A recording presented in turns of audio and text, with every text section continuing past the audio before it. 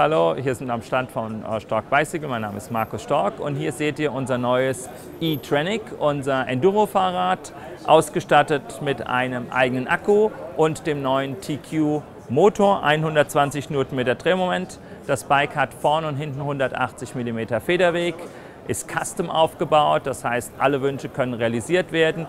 Hier verbaut haben wir jetzt eine Fox-Gabel DT, äh, Shimano XT-Ausstattung, aber es ist so ziemlich alles möglich. In der leichtesten Konfiguration wird das Fahrrad sub 23 Kilogramm wiegen und äh, Farbe nennt sich Eratus mit Leuchtorange. Also das Fahrrad ist dann ab Frühjahr sehr wahrscheinlich äh, komplett fertig, lieferbar. Hier handelt es sich noch um Prototypen. Äh, ihr könnt mehr Informationen auf unserer Webseite dann finden unter stork-bikes.com.